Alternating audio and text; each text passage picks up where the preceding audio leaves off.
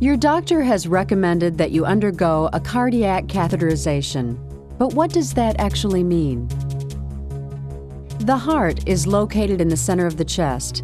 Its job is to keep blood continually circulating throughout the body. The blood vessels that carry oxygen rich blood away from the heart are called arteries. The largest and most important of these is the aorta. The vessels that bring blood back into the heart are called veins. Sometimes these blood vessels can grow narrower or become blocked in such a way that normal blood flow is restricted.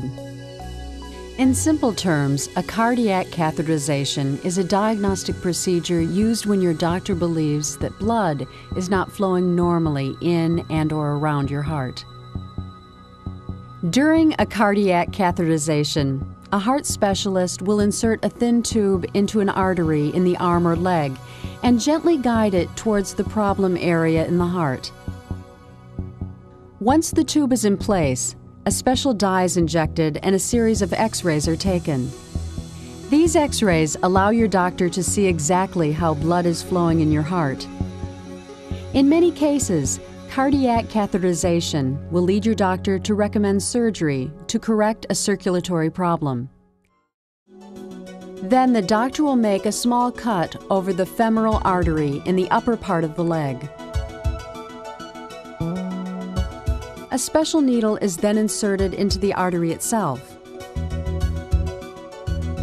Then a guide wire is carefully passed through the needle and gently pushed into the artery and upwards towards your chest. Once the wire is in place at the aorta, a narrow tube called a catheter is threaded along the wire until it too has reached the aorta.